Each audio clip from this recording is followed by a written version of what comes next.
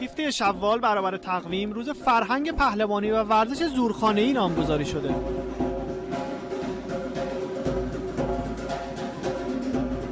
روزی است که حضرت علی علیه السلام در روز خندق اون ضربه ای که به اون پهلوان عرب وارد کرد و تونست فرهنگ پهلوانی رو در اسلام نهادینه کنه ورزشی که حالا در سطوح مختلف ملی و بین‌المللی طرفدارانی پیدا کرده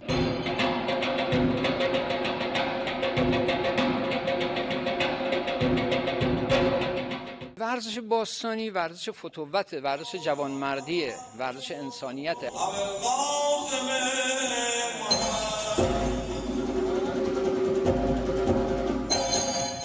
این تنها ورزشیه که با موسیقی زنده ورزشکار ورزش می‌کنه. شعرهای زیبا ضرب زیبای مرشد. ورزشکاران باستانی در این گودها و در این زورخونه ها ضمن اینکه بدن خودشون رو پرورش میدن بازوانشون رو قوی می‌کنن و به قول معروف تنشون رو می‌سازند در کنار این روانشون رو هم رشد میدن. در این ورزش احترام بین مرید و مرشد آموزش داده میشه.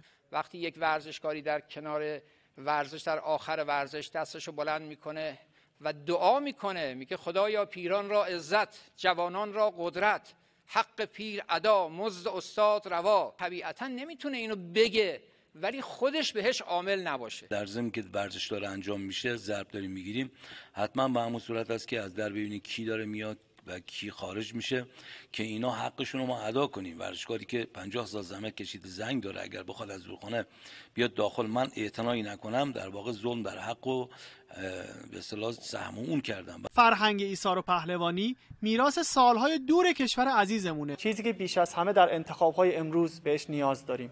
امیر حسین ناطقی خبرگزاری صدا و سیما خراسان شمالی بلجیک